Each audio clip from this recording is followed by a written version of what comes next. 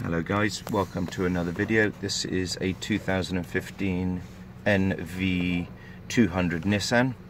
Okay, what we have is we've got the service light on the dash and what we're going to do is with the ignition on, we're going to press the left hand button until we get up the menu. So keep pressing it. We now have the settings menu.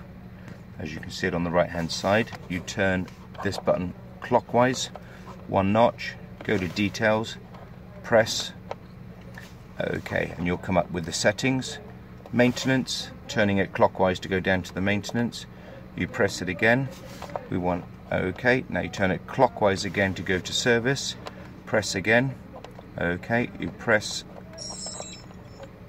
and hold on the service button and it will come up with the reset, turn it clockwise to the reset, press and it will come up with a confirm menu.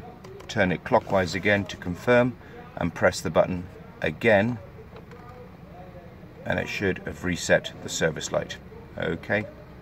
We'll just double check again. So we're going to switch the ignition off.